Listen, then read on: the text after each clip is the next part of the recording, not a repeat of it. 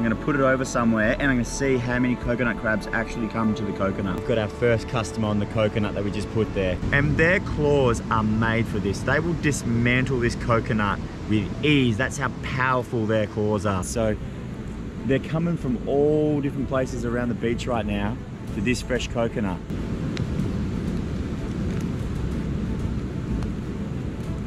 Oh, that one's got his claw.